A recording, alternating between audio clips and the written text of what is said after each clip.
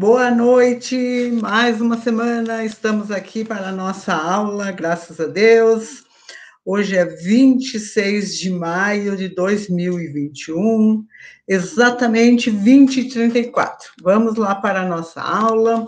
Estou com curiosidade de saber quantos assistiram a aula de semana passada, como é que foi a aula, fizeram as atividades, como é que foi, como é que não foi, tiveram dificuldade para fazer ou não, como é que foi? Então, hoje nós iniciamos com uma parte nova da nossa disciplina, tá? Mas antes eu vou fazer uma revisão da disciplina da, da semana passada, eu vou fazer alguns questionamentos, eu queria que vocês me auxiliassem. O que foi que a gente viu na semana passada? Alguém poderia me ajudar mesmo? Ou não tem ninguém para me ajudar ali? Vamos lá. O que será que a gente viu semana passada? Então, nós vamos lá para lembrar. Lembrando que nós estamos indo para o final do semestre, nós temos mais uma prova também, né? Então, nós vimos semana passada os objetivos da análise de balanço, né? Estou bem lembrada disso, a gente viu os objetivos. Depois, nós vimos também, né? Nós vimos que o objetivo da análise de balanço era extrair informações, tanto elas financeiras, em relação à sua posição econômica e financeira da empresa, né? Também nós uh, trabalhamos, né, que era importante a análise de balanço para ver a evolução da empresa uh, num certo período, né, nas demonstrações contábeis, os diversos aspectos uh, básicos dos objetivos da análise, também a gente olhou, lembra que a gente falou, o balanço, né, em diferentes aspectos de seus usuários, as descrições técnicas, científicas, né, e daí também ainda foi feito alguns comentários então, o objetivo da análise de balanço, me lembro que era, é, visa, ele relata as informações econômicas, a, a posição econômica e financeira e as tendências, né, para o futuro da empresa ou tendências para o futuro, tanto de crescimento quanto de decréscimo.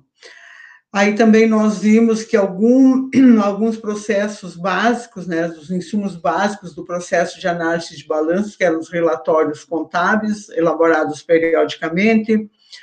Alguns relatórios são obrigatórios, aqueles que são definidos pela legislação, né, uh, societária, sendo os mais conhecidos, que eu me lembro que eram as demonstrações contábeis e as demonstrações financeiras as leis de, das SAs, né, que as empresas, ao final dos 12 meses, todas as empresas devem apurar com base nos fatos registrados pela contabilidade as demonstrações contábeis, algumas, né, então, que eram as empresas regidas pela lei das SAs, o balanço patrimonial, que estava me lembrando, as demonstrações do resultado do exercício, as demonstrações do lucro ou prejuízo acumulado, as demonstrações do fluxo de caixa, as demonstrações do valor adicionado. Eu me lembro ainda que eu falei que as demonstrações do valor adicionado é, somente para as companhias de capital aberto.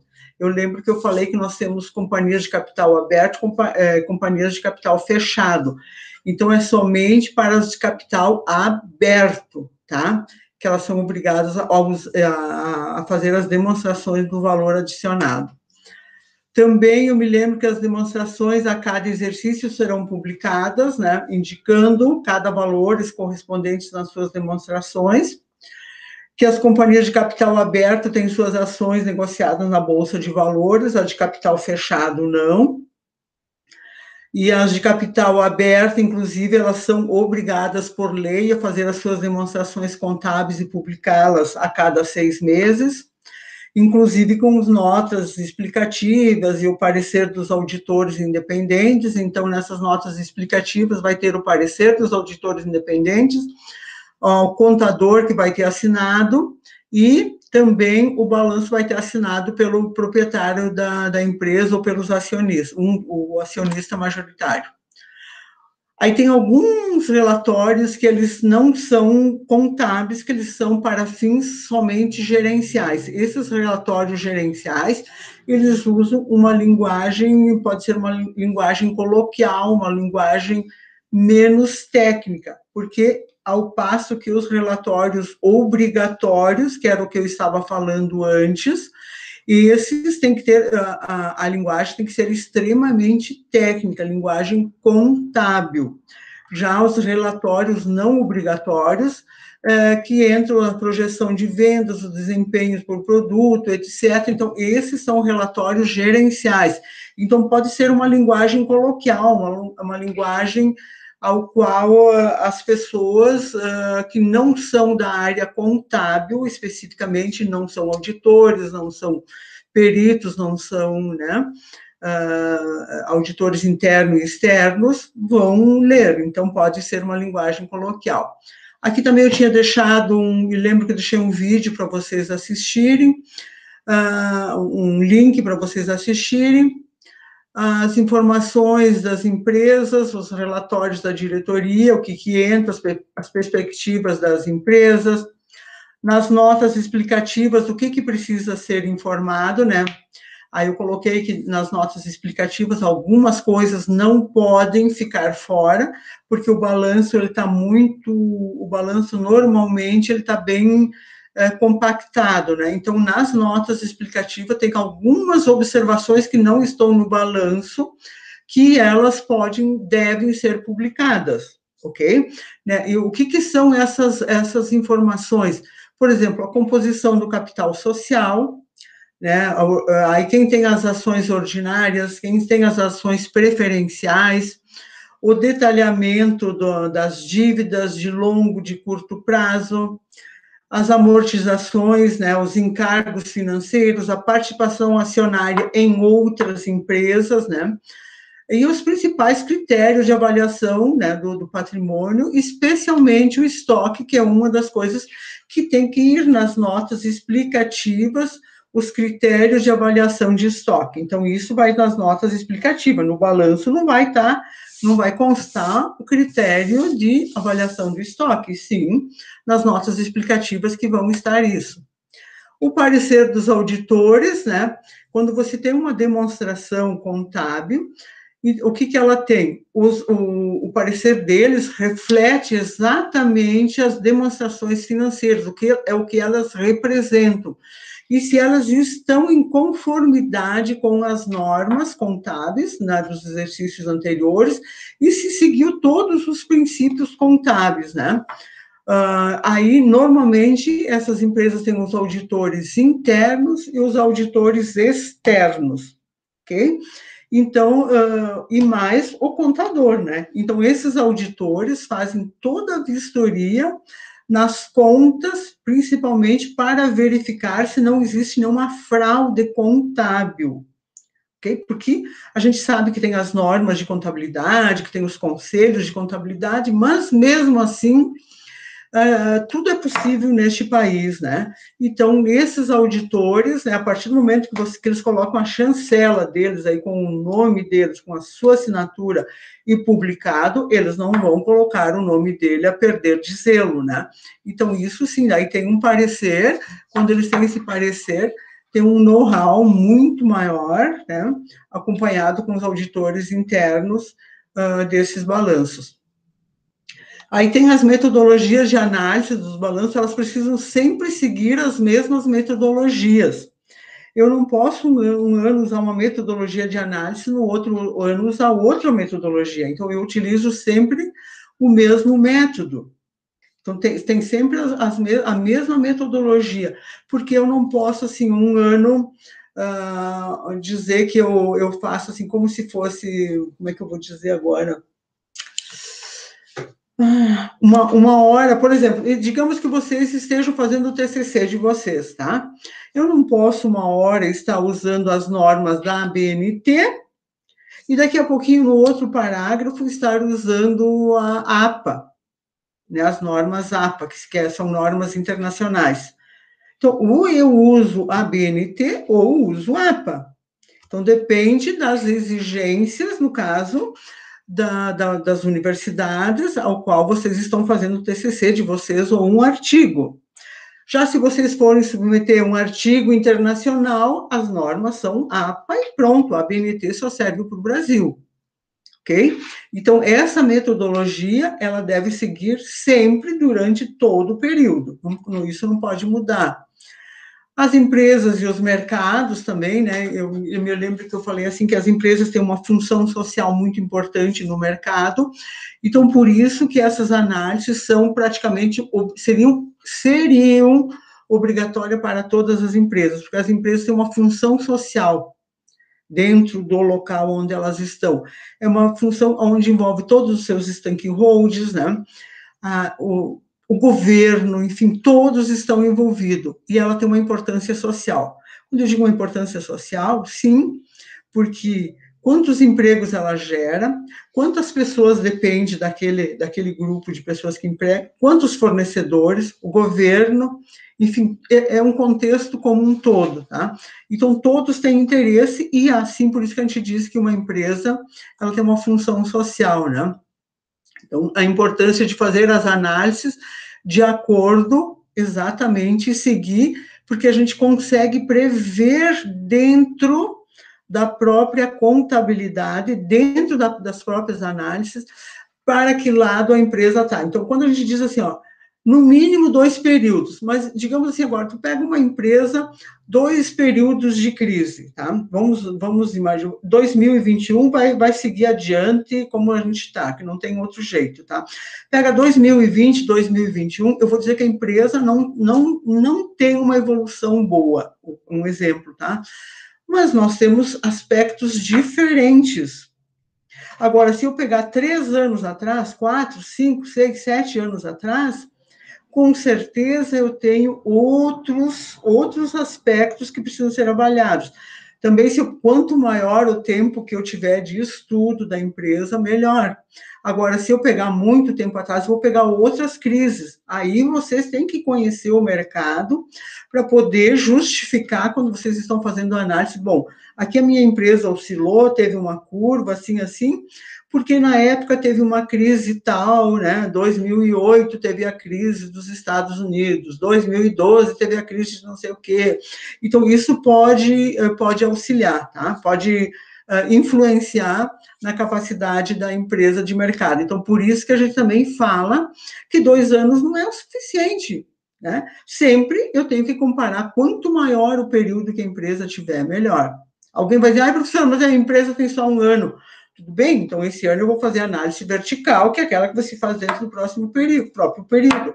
Agora, o ano que vem, eu já tenho dois períodos, né? Que é este ano, mas ano que vem, e assim sucessivamente. Vai se construindo uma história dentro da própria empresa, né?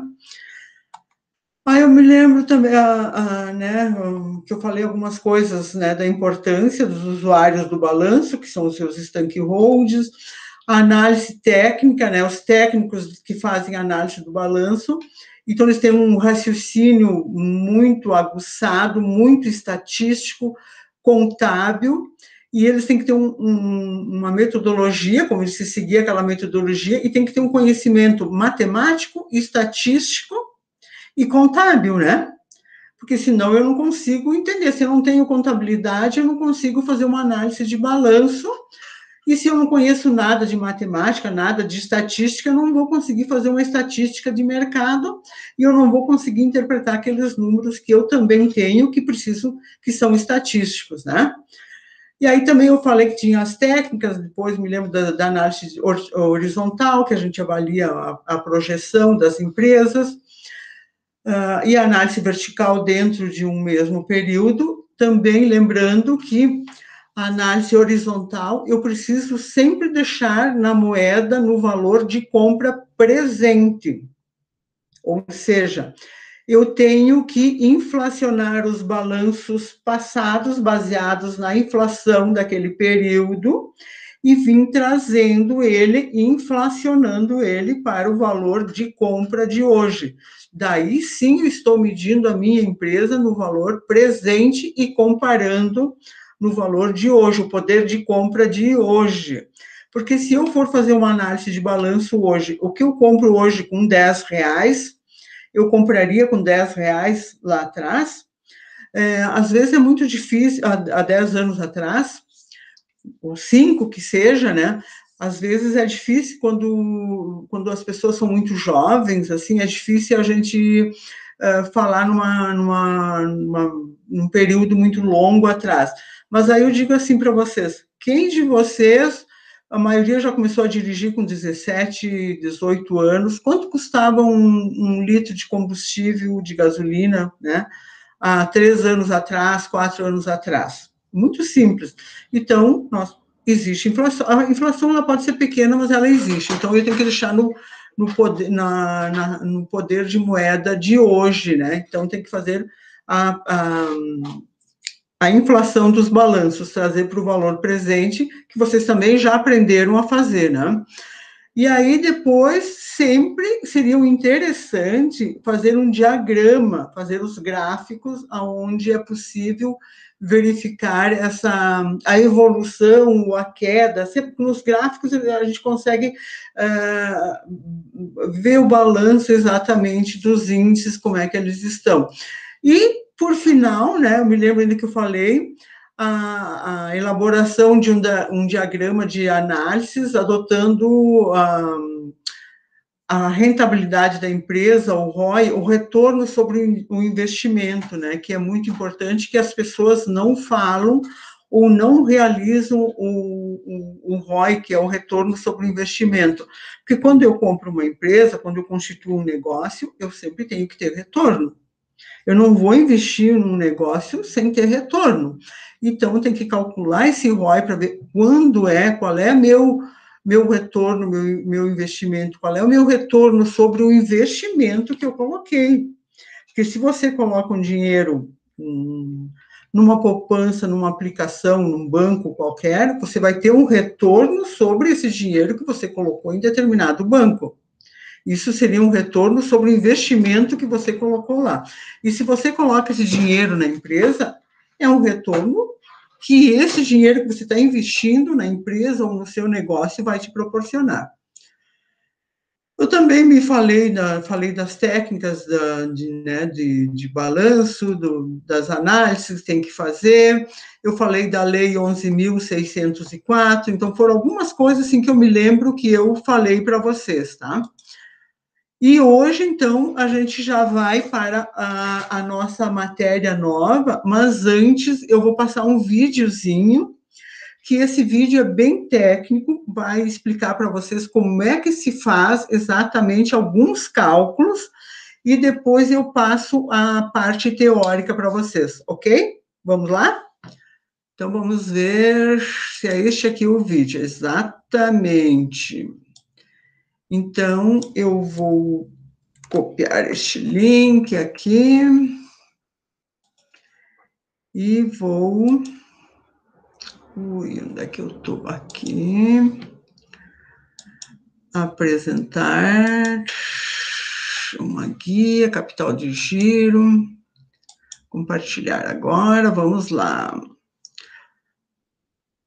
Eu vou colocar bastante volume para que vocês possam escutar. Nada mais é do que o valor que a empresa possui para custear as suas operações do dia a dia. Como o próprio nome sugere, Trata-se de um dinheiro, de um capital que fica girando entre pagamentos e recebimentos e que garante que a empresa honrará todos os seus compromissos financeiros, sem a necessidade de recorrer ao capital de terceiros, como é o caso dos empréstimos bancários. E então, você sabe qual é o capital de giro líquido da sua empresa? Quer saber como calcular? Então, vamos lá! Para calcular o capital de giro líquido da sua empresa, há uma fórmula muito simples. Capital de giro líquido é igual a ativo circulante menos passivo circulante. Capital de giro líquido é igual a ativo circulante menos passivo circulante. Caramba, Thiago, mas o que é ativo circulante e o que é passivo circulante? Muito simples. Ativo circulante é o somatório de alguns ativos que a empresa possui. Por exemplo, você vai somar contas que a empresa possui a receber, contas a receber, vai somar dinheiro que a empresa possui em aplicações financeiras, vai somar dinheiro que a empresa possui em caixa, vai somar dinheiro que a empresa possui na conta corrente bancária, por exemplo. Ok? Dentre outras coisas. É, e do lado do passivo circulante, como o próprio nome sugere, passivo circulante, coisas que a empresa tem que pagar, ou já pagou, inclusive. Tá? Do lado do passivo circulante, nós temos contas com fornecedores, empréstimos, impostos, salários, uh, contas de energia elétrica, contas de água, dentre outras coisas. Então você vai somar tudo que está no, ativo circulante e tudo que está no passivo circulante. E você vai fazer essa subtração para encontrar o seu capital de giro líquido. Eu vou dar dois exemplos bem diferentes para que você consiga compreender aí essa conta do capital de giro em sua totalidade. No primeiro caso, aí vamos à empresa A. Vamos imaginar que a gente fez lá o somatório do ativo circulante e deu 10 mil reais. Lá do lado do passivo circulante, 5 mil reais. Então vamos à conta. Capital de giro líquido é igual a 10 mil reais menos 5 mil reais. Ou seja, ativo circulante menos passivo circulante. Capital de giro líquido vai ser igual a 5 mil reais. O que, que isso significa, Thiago? Isso significa que a empresa, a empresa A, possui capital de giro suficiente para cobrir as despesas dela, havendo até mesmo um superávit de 5 mil reais considerando o período calculado. Ou seja, o capital de giro é o suficiente e ainda sobram 5 mil reais. Então, vamos ao caso B. No caso B, nós temos uma situação diferente. O ativo circulante da empresa é igual a 10 mil reais e o passivo circulante igual a 20 mil reais. Capital de giro líquido é igual a ativo circulante menos passivo circulante. Nesse caso, o capital de giro líquido deu negativo, menos 10 mil reais. E, caramba, então é uma situação diferente. O que, que isso significa? Isso significa que há um déficit de 10 mil reais no capital de giro líquido, dentro aí desse, desse período calculado. Isso significa, em outras palavras, que a empresa terá que recorrer a capital de terceiros para financiar as suas atividades e continuar operando aí dentro da normalidade. Ela não tem capital de giro suficiente. Como ela não tem capital de giro suficiente, ela vai ter que procurar capital no mercado, capital de terceiros, para que ela continue funcionando normalmente. Uma das soluções possíveis aí é, por exemplo, pedir um empréstimo bancário, ou ainda considerar a entrada de um novo sócio, enfim, há uma, uma gama de possibilidades para que a empresa consiga esse capital para que ela continue operando normalmente. Ok? Mas a coisa toda não acaba aqui. Existe uma fórmula mais complexa para se calcular a necessidade de capital de giro de um negócio. Veja bem, a gente aprendeu aqui nesse vídeo capital de giro líquido. É um dos indicadores, um indicador muito importante. Mas há outras fórmulas né, para se calcular a necessidade de capital de giro considerando diversos fatores.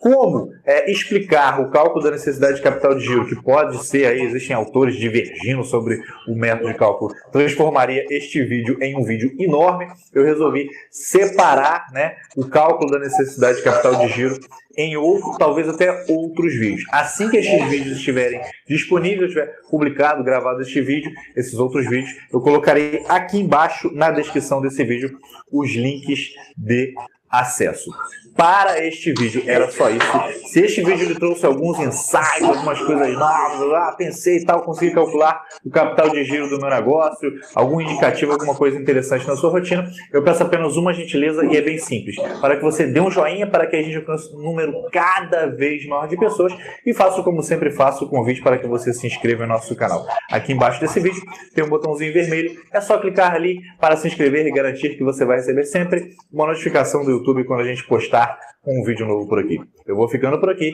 Agradeço muito de verdade para valer a sua audiência. Um grande abraço e até o próximo vídeo. O Instituto Montanari acredita. Ok, então voltamos lá para a nossa parte teórica agora, tá? Então eu disse para vocês que eu ia passar a parte teórica, então agora a gente vai para a parte teórica. Ele fez o cálculo todo que eu achei bem interessante essa forma dele fazer o cálculo, né? E só que agora a gente tem que ver a parte teórica. Não existe teoria sem a prática e não existe prática sem teoria. Então agora nós vamos para a parte teórica, ok? Então o cálculo ali ele, ele mostrou uma forma muito prática de fazer. Eu achei muito interessante, já que a gente está um pouco limitado, né, da, da forma de fazer os cálculos uh, neste momento. Uh, aí eu passei para vocês. Ok? Aqui o vídeo que eu acabei de passar para vocês, então, análise de dinâmica de capital de giro, então, só aqui, para os que querem assistir depois, se não deu certo, deixo gravadinho aqui também, tá. Então, o que, que é importante, né? A terminologia capital de giro vem da visão circular do processo operacional da geração de lucro, ou seja, comprar estoques, produzir, vender e receber e voltar a comprar de novo. Então, essa visão circular, né? Vocês já ouviram falar de economia circular? Então, essa é mais ou menos nesse mesmo sentido, é a visão de você vender, produzir, né? Vender, receber e voltar a comprar de novo. Então, agora vocês estão entendendo por que, que a gente diz que tem uma função social a empresa. Né? O capital de giro constitui-se no fundamento básico da avaliação do equilíbrio financeiro de uma empresa. Então, assim, é, é, como o vídeo também mostrou as formas de fazer o cálculo, né? Então, nós temos, assim, que é uma forma, é um equilíbrio financeiro, nós precisamos ter capital de giro. Vocês já ouviram falar, muitas empresas dizem assim, ah, eu não tenho capital de giro, ah, eu estou sem capital de giro, ah, minha empresa está sem capital de giro. Por que que está sem capital de giro? exatamente por alguns motivos que nós vamos ver agora adiante também, né? Por falta deste controle ou por falta de uma própria gestão, uma falta de própria gestão, no, principalmente na questão de, de compras, de vendas, né? De não recebimento, de não não calcular o valor adequado no seu preço de vendas, da forma de como compra o produto e estoca. Hoje o estoque é prejuízo, dependendo do seu produto é prejuízo, que você tiver estoque é muito prejuízo. Então, isso daqui é muito importante, tá? Então, quando a gente ouve, quando vocês ouvirem falar, minha empresa está sem capital de giro, agora vocês já sabem o qual é que é.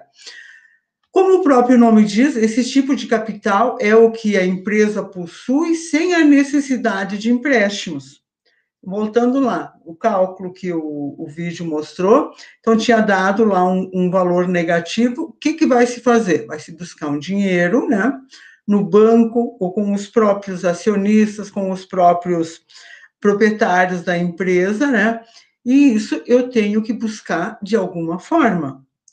Ou isso vai e vai girando, vai indo, vai indo, como a gente diz, não chega um momento que você vai ter que dizer, bom, a empresa não tem jeito de recuperar seu capital de giro e eu tenho que dar um jeito. O que, que nós vamos fazer?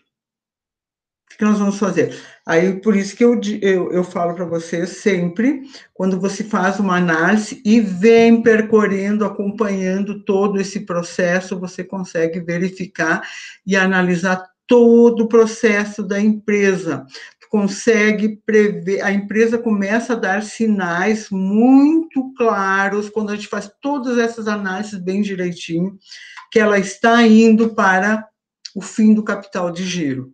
Está muito claro, tu começa a analisar e tu vê, está muito claro. Então, isso é uma, uma questão que precisa ser muito bem observada. Quais são alguns elementos clássicos básicos do capital do giro. E aí, claro, pois tem outros também, mas aqui eu, elenquei somente alguns, né?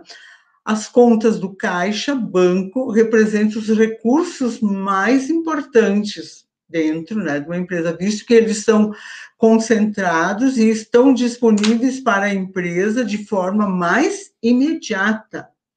Eu preciso de dinheiro, tenho caixa ou no banco. Então, isso é a forma imediata na que eu tenho dinheiro. Agora, se eu não tenho no caixa, não tenho no banco, aí é, como dizia um professor meu, é mal assunto, mal assunto mesmo, né?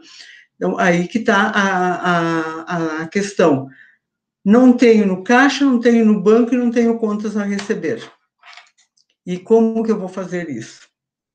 As contas a receber também entram no cálculo de capital de giro. Sim, elas são o resultado das vendas à vista ou a prazo, ou seja, em que o pagamento ocorre depois, né? E no, no caso eu posso vender à vista ou a prazo. Agora, o que, que acontece aqui que a gente observa muitas vezes, e eu vejo até pelos meus clientes, vende-se, vende-se, vende-se, vende-se, vende-se a prazo. Compra-se, compra-se com o prazo muito curto de pagamento. Aí você está financiando este pagamento, você está financiando uh, a, a, empresa, eu você que eu digo a empresa, a empresa tem que ter esse capital de giro bom para poder cumprir com as suas obrigações, porque se eu estou vendendo com 30, 60 e 90, que se tem essa cultura ainda, 30, 60 e 90, que quando eu comecei a conhecer era assim que era, 30, 60 e 90, mas hoje eles fazem assim, o que acontece? Em três vezes. Só que existe muita malandragem em cima disso. Três vezes, as três vezes pode ser 10 dias, 24 dias e 32 dias em três vezes, a pessoa não diz que não era em três vezes, mas automaticamente a pessoa relaciona que é 30, 60 e 90. Não é. Hoje, as empresas não fazem isso. Quem trabalha com a contabilidade começa a observar, você vê em três vezes, começa a observar as notas fiscais. Em quantas vezes? Se é em três vezes, se dá 90 dias. Nunca Nunca. E as que dizem que é em duas vezes 30 e 60, que é, que é no subconsciente que a gente acha, nunca é 30 e 60. Pode ser 28, ainda os que respeito, e 45 por ali, no máximo. E quem compra, e se não tem esse conhecimento, e não observa, se não ficar atento, entra muito bonitinho nisso dali. Aí você vende, sim, com 30 e 60, aí ainda vocês, ai, ganhei, eu vendi com 30 e 60 e estou comprando uh, com 30, né? Estou comprando para pagar com 30, 60 e 90. Veja bem, eu estou ganhando. Nunca, está perdendo.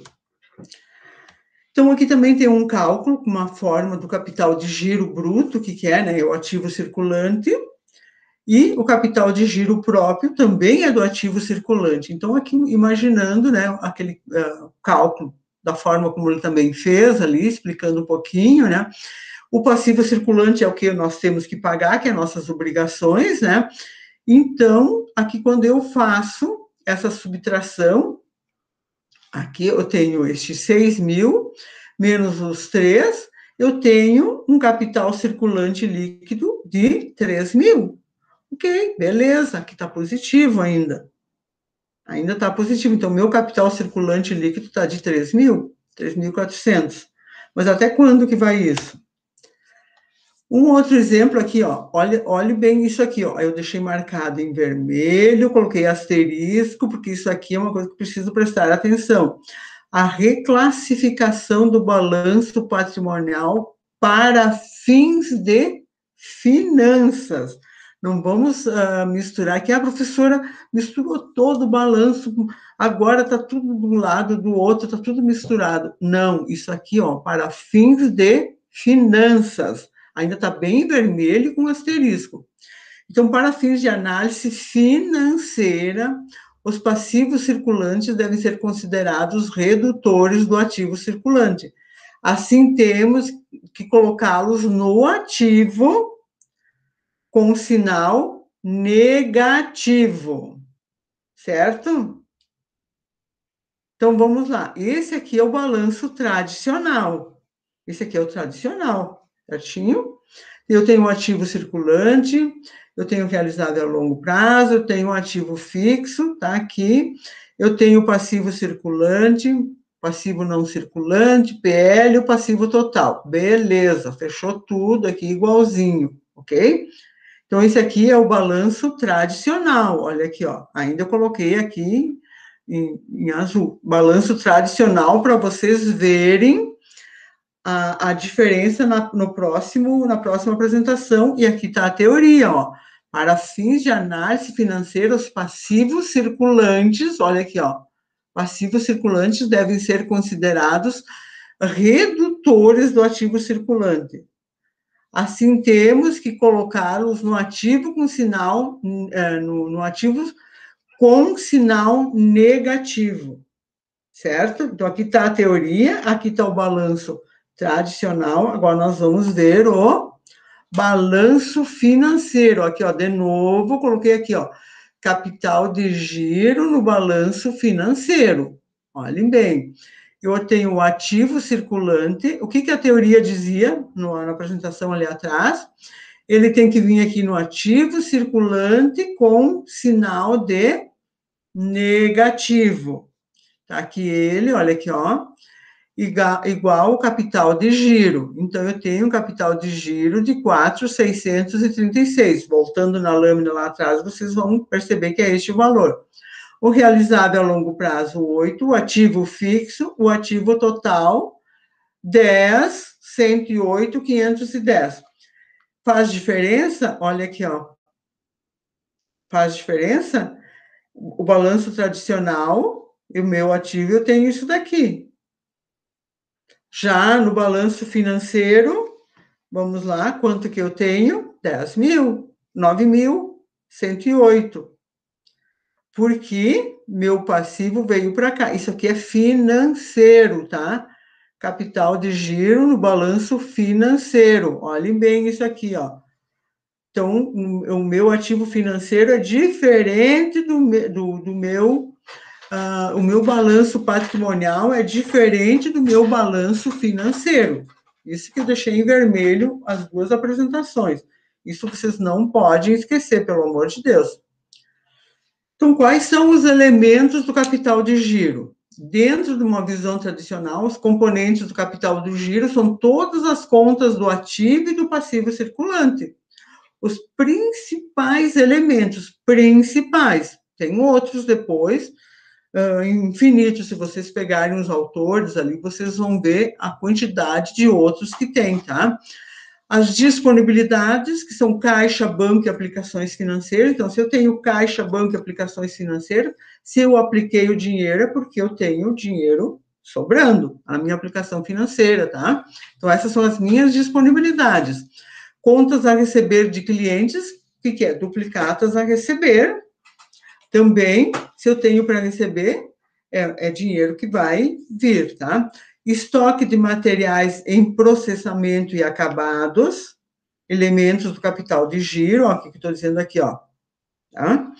Estoque de materiais em processos e acabados, contas a pagar, despesas provisionadas, isso daqui, salários e encargos, impostos a recolher sobre mercadorias, também existem outras contas menos comuns, mas essa aqui são os principais elementos do capital de giro, tá? São os principais, são esses. Tem outras, como eu deixei aqui a observação, tem outras menos comuns, mas essas são as principais. Aqui também eu tenho um outro vídeo que eu já vou mostrar para vocês. Eu tenho que parar de compartilhar esse daqui para mim poder ir no, no outro vídeo, tá?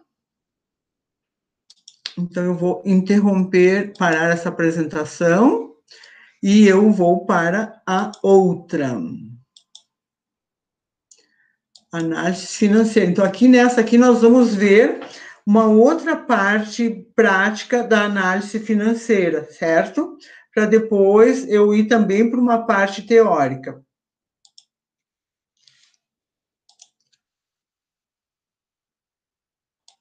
Seja muito bem-vindo. Eu sou a professora Stephanie Kalinka e estou aqui hoje para mostrar como é que funciona o modelo Fleuriette na prática. Então, lembrando que o modelo Fleuriette é um modelo de análise financeira. Você vai conseguir identificar a situação financeira de uma empresa utilizando esse modelo. Então, nesse vídeo eu quero te mostrar o passo a passo de como realizar na prática essa análise financeira. Se interessou? Então assiste esse vídeo até o final. Vamos começar então. Para efetuar a análise financeira de uma empresa por meio do modelo Fleuryette, primeira coisa que você precisa é buscar o balanço patrimonial da empresa a ser analisada. Então eu trouxe aqui um balanço bem básico de uma empresa, ativo e passivo, os grupos ativo circulante e não circulante, e do lado do passivo, passivo circulante e não circulante e patrimônio líquido. Então busca aí o balanço patrimonial da empresa que você quer analisar. O segundo passo é fazer a reclassificação das contas desse balanço patrimonial. Nós vamos dividir esses grupos em ativo e passivo errático, ativo e passivo cíclico e ativo e passivo não cíclico. Então, nesse segundo passo, eu vou te mostrar a classificação começando pela parte mais simples, que são a classificação de ativo não cíclico e passivo não cíclico. O que, que vai dentro dessa, desse grupo ativo não cíclico? Todo ativo não circulante, então todo grupo ativo não circulante, a gente chama de ativo não cíclico. Portanto, se a gente somar o ativo não cíclico da empresa, a gente tem 50 reais do ativo realizável a longo prazo, 25 reais de investimento e 10 reais do imobilizado. Então vejam que aqui nós temos 85 reais que nós vamos chamar de ativo não cíclico. Já o passivo não cíclico, nós vamos pegar todo o passivo não circulante, que aqui dentro nós temos um financiamento de 100 reais, e todo o patrimônio líquido, que aqui dentro nós temos o capital social de 135 reais. Vejam que Passivo não cíclico é todo o grupo do passivo não circulante mais o patrimônio líquido. Nesse caso, o nosso passivo não cíclico será de 235 reais. Pronto, agora a gente vai para a classificação de ativo cíclico e passivo cíclico, que são, na verdade, ativo e passivo operacionais. Então, tudo que tem relação com a operação da empresa. Então, agora, somente sobra para gente o ativo circulante e o passivo circulante. O ativo não circulante, passivo não circulante e PL já foram classificados. Então, dentro do ativo circulante, o que, é operacional? Clientes e estoque. Clientes e estoque são contas que têm relação com a operação da empresa. 500 mais 100. 600 reais será aqui o nosso ativo cíclico, também conhecido por ativo operacional. Já no passivo, o que a gente tem de operacional é a conta dos fornecedores e salários a pagar. 200 reais mais 100 reais.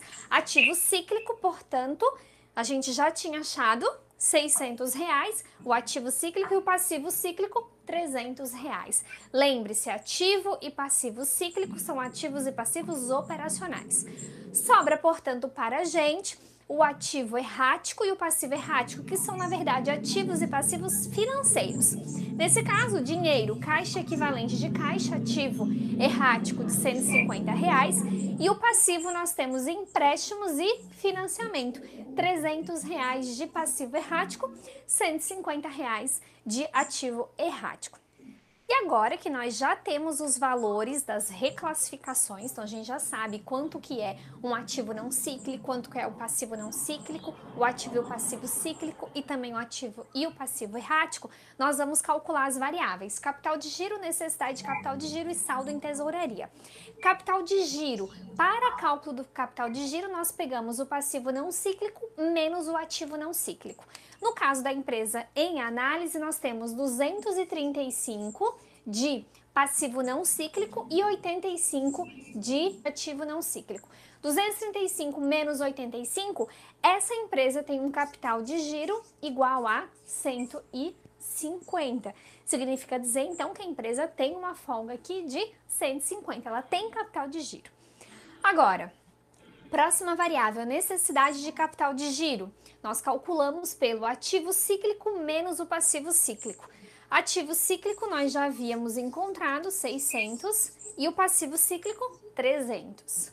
Vejam que a empresa tem uma necessidade de capital de giro de 300. Existe capital de giro de 150, mas existe uma necessidade de capital de giro de 300. E por último, a gente calcula o saldo em tesouraria. Ativo errático, que é de 150, menos o passivo errático de 300. Portanto, se a empresa tem um capital de giro sobrando de 150, mas uma necessidade de 300, vejam que o saldo em tesouraria ele é negativo em 150 reais. Calculamos. Agora que a gente já sabe os valores de capital de giro, necessidade de capital de giro e saldo em tesouraria, nós vamos identificar como está a situação financeira dessa empresa na tabela do modelo Fleuriette. Agora que nós já calculamos as três variáveis, capital de giro, necessidade de capital de giro e saldo em tesouraria, é hora de olhar o quadro do modelo Fleuriette, dividido em seis estruturas diferentes. Na estrutura 1, nós temos uma empresa com capital de giro positivo, necessidade de capital de giro negativo e saldo em tesouraria positivo. O qual essa estrutura tipo 1 a gente chama de excelente. E assim vai, a estrutura tipo 2, capital de giro positivo, necessidade de capital de giro positivo e saldo em tesouraria positivo, a gente tem uma situação financeira sólida. E assim a gente tem a insatisfatória, a péssima, a ruim e a de alto risco. A empresa que nós calculamos teve ou apresentou um capital de giro positivo, então vai se enquadrar em uma dessas três estruturas, a estrutura 1, A2 ou A3, teve um, uma necessidade de capital de giro positiva, então vejam que não pode ser a estrutura tipo 1, porque tipo 1 é negativa, a nossa empresa apresentou uma necessidade positiva, então ou vai ser a estrutura 2 ou a estrutura 3, e por último teve um saldo em tesouraria negativo. Então vejam que a empresa que a gente calculou, que a gente estava avaliando a situação financeira, enquadra-se aqui na estrutura tipo 3, onde nós temos capital de giro positivo, necessidade de capital de giro positivo e o saldo em tesouraria negativo. Então a gente conclui que essa empresa está com a situação financeira insatisfatória. E aí, você gostou? Se você gostou de entender um pouco mais sobre o modelo Fleuriette, deixa seu comentário aqui embaixo para mim. E também não esqueça de baixar aqui o e-book. Estou disponibilizando para você um e-book mostrando o passo a passo do cálculo da situação financeira das empresas por meio do modelo Fleuriette. Até mais! Tirar uma no Ok, agora voltamos lá para a nossa teoria. Até agora estava com cálculo, né? Muito simpática a menina, muito, muito boa a forma dela apresentar o cálculo, achei bem interessante. Achei fantástico esse vídeo, foi o melhor que eu achei agora, hoje, para apresentar para vocês, tá? Deixa eu ver que nós estamos no slide 10. Então, vamos seguindo o modelo Fleurette, ela falou em Fleurette, deixa eu só ver que hora é para mim, ver se preciso correr na minha aula ou não, né? Ok.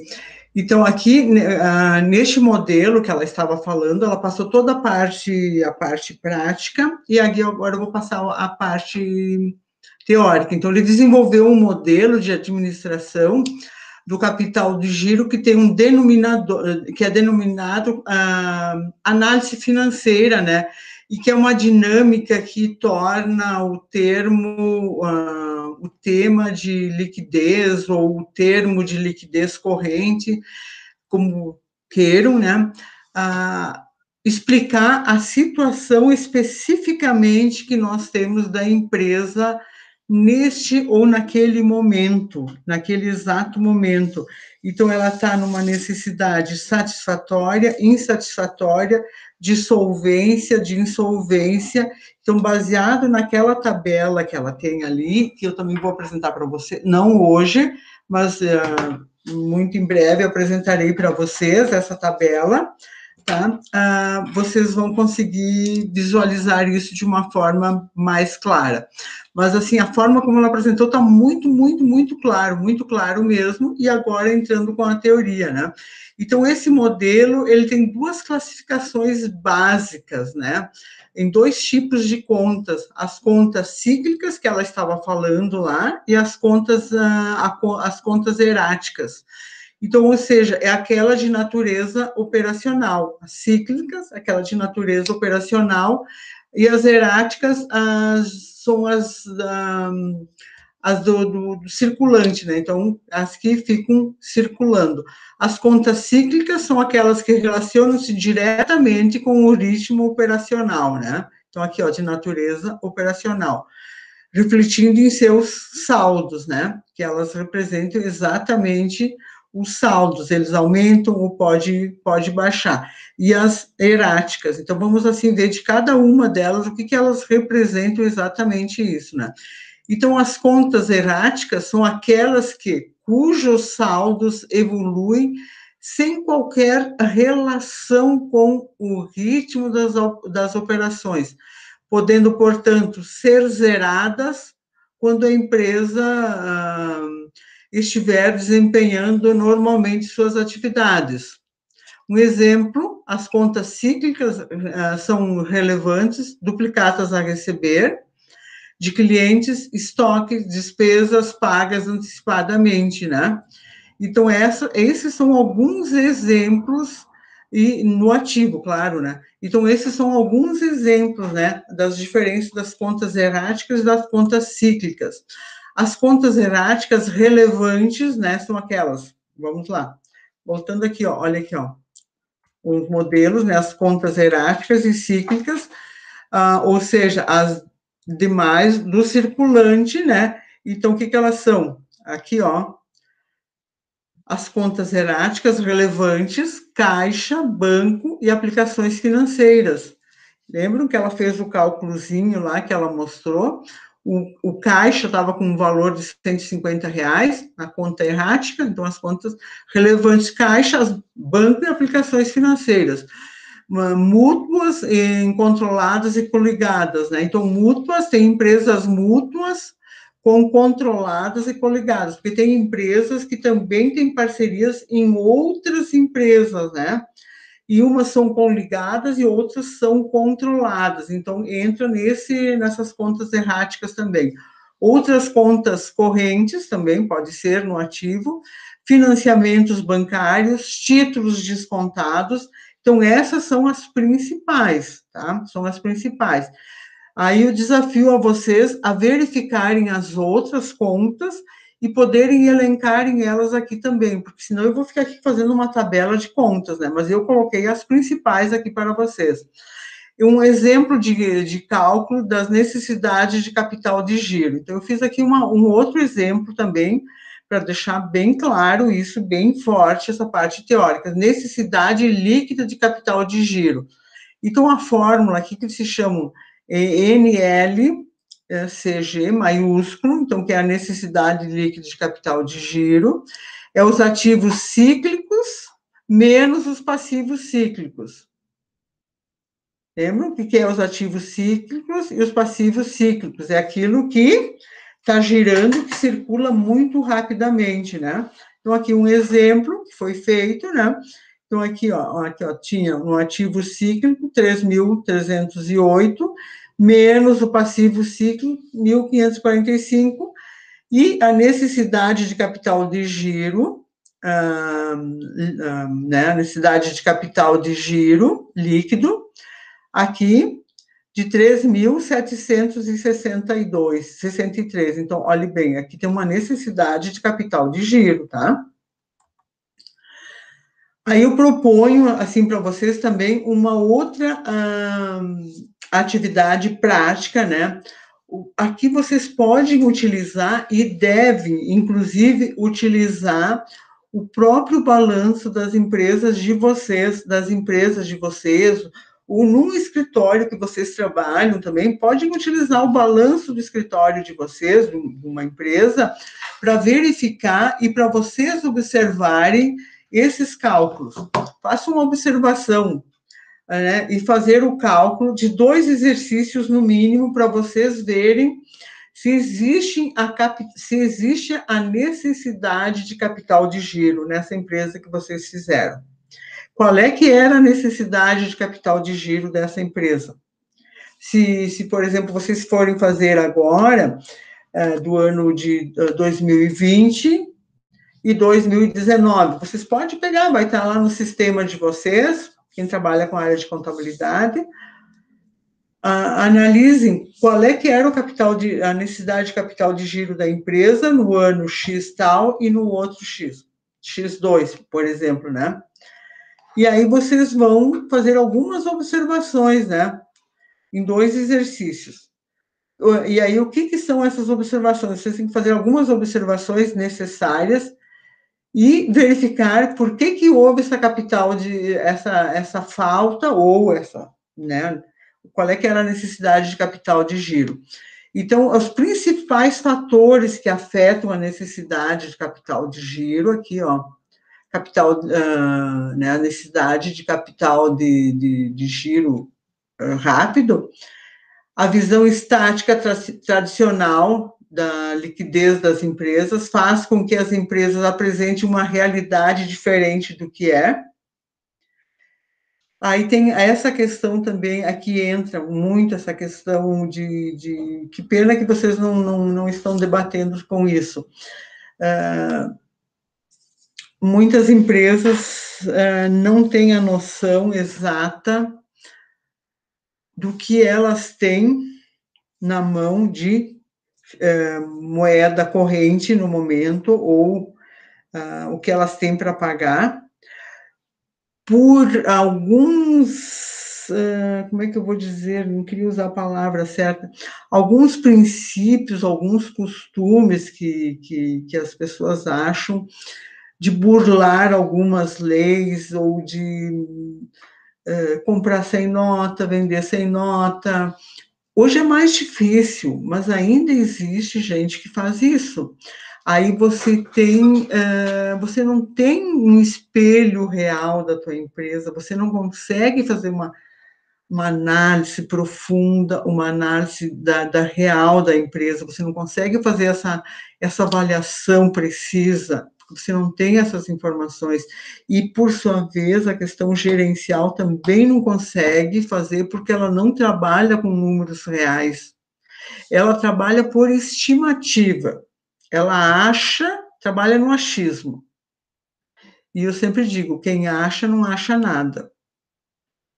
E aí é, é, muito grave essa situação, tá? Então, por isso, são fatores que afetam, esses são os principais fatores que afetam a necessidade de liquidez uh, de capital de giro. Principalmente isso.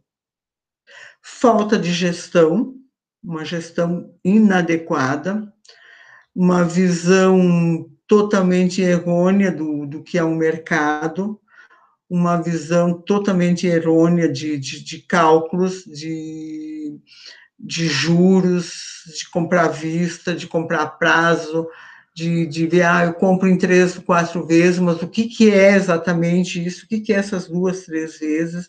Então, tem toda, todas essas questões que aqui precisam ser levadas em consideração e que não são levadas por falta de conhecimento do gestor, porque ele não, não, não tem obrigação de fazer isso, mas ele tem obrigação, se ele não sabe, de contratar alguém que possa cuidar da sua empresa, porque o dinheiro não foi feito para jogar fora. Aí, se ele está botando dinheiro fora, então ele que vá descansar na praia ou aonde gosta, no hotel fazenda, e coloca o dinheiro no banco, pelo pouco que rende, mas está rendendo e não está se incomodando, né?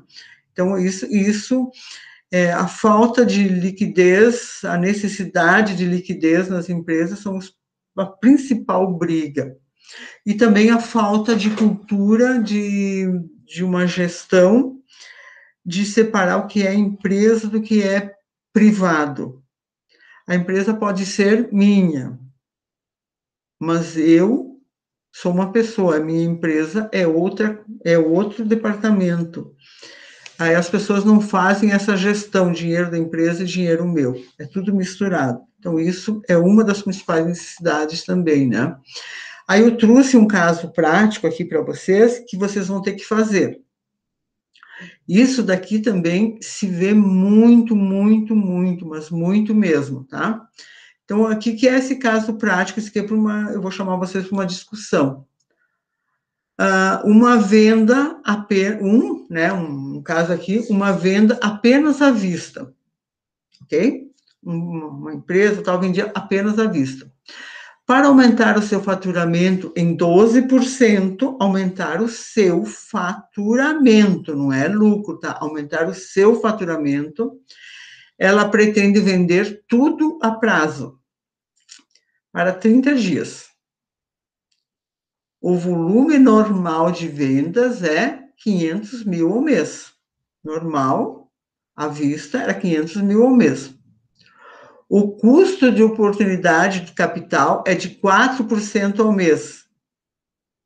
Sabe que esse custo de oportunidade de, de, de capital é o juro que você paga, né? Então, é o custo de oportunidade de capital ela pretende recuperar 25% a mais de custo financeiro na venda a prazo. Os impostos sobre vendas são 20% e recolhidos à vista. Imposto hoje, ó, né? Vamos calcular o índice para vender a 30 dias e o volume necessário de capital de giro em contas a receber. Estão vendo aqui? Aí tem o importante observar, aí eu vou passar depois adiante, tá? Então, se eu vendia apenas à vista, eu tinha, eu só vendia à vista. E para aumentar meu faturamento em 12%, eu quero aumentar o faturamento, pretende vender tudo para 30 dias. Mas eu vou aumentar 12% o faturamento, mas o meu custo de oportunidade, o juro que eu vou pagar por mês é 4%, porque eu, se eu vendia tudo à vista, eu vou vender com 30%, eu vou precisar buscar capital de giro em algum lugar, 4%. Ela pretende recuperar 25% a mais do custo financeiro na venda a prazo. Então, esse custo financeiro aqui de 4%, ela quer recuperar 25% a mais do custo financeiro na venda a prazo. Ela quer recuperar. Isso quer dizer que está embutido no produto, tá? Os impostos sobre as vendas são de 20% e recolhido à vista. Olhe bem aqui, ó. Eu quero recuperar 25% dos quatro. 20% eu vou pagar à vista. Ok? Terminou agora o dia 31 de maio. Eu tenho que já pagar os impostos agora no próximo mês pago 20% à vista. Vamos, né? E eu estou vendendo com 30 dias. Vamos calcular o índice para vender a 30 dias e o volume necessário de capital de giro em contas a receber. Certo? Que eu vou precisar de capital de giro, né? Porque se eu vendia sempre à vista. Importante observar a necessidade, a necessidade de rever a formação do preço de vendas sob pena de perda. Ah, tem dois erros. Deixa eu só apagar aqui. Opa. Sob pena de perda. Ah, deixa eu apagar aqui. Ok, salvar. Ah, de renta, ah, aqui, ó, sob pena de perda de rentabilidade com a antecipação do recolhimento dos impostos em relação à situação atual. Tá? Então, há necessidade de rever a formação do preço de vendas.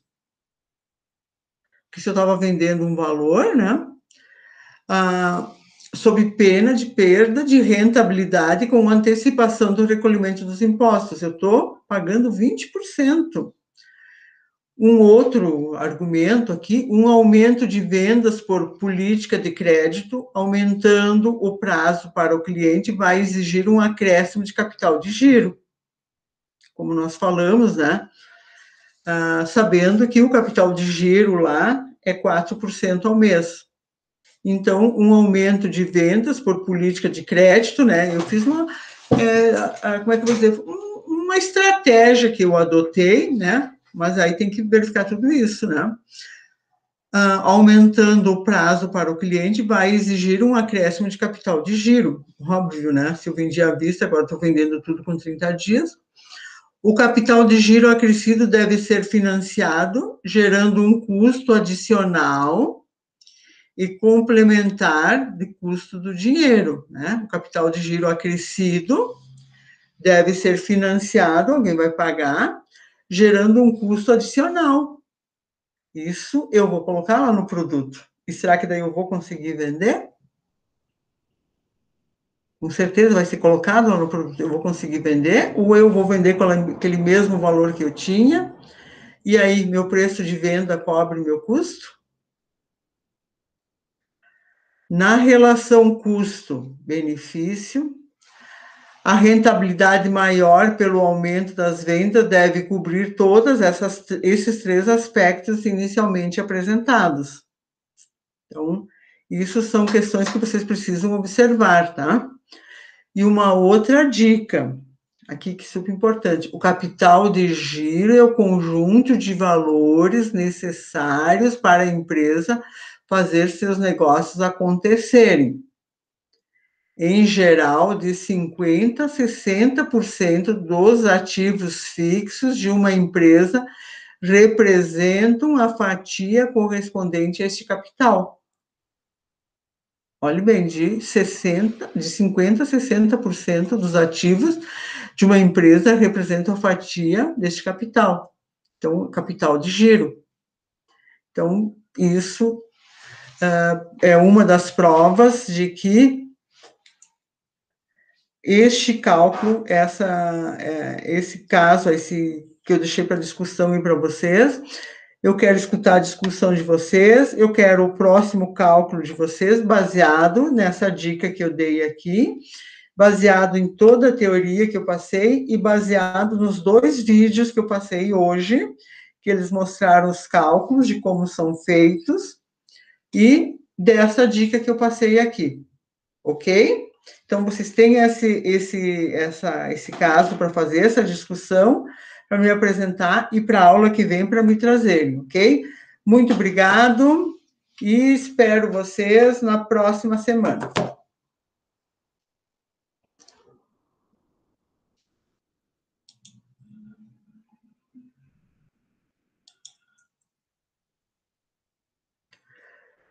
Bom, exatamente 21 horas e 40 minutos. Como não tem nenhum aluno em sala de aula, uh, acredito que todas as atividades propostas foram atendidas. O vídeo está disponível, as gravações também. Eu continuo disponível para alguns questionamentos. O e-mail está disponível na, no, no PPP, no PPT, que passei para vocês também. E desejo a vocês uma ótima semana de estudos. Analisem direitinho, pegam a teoria, verificam os cálculos e até semana que vem. Tchau, tchau.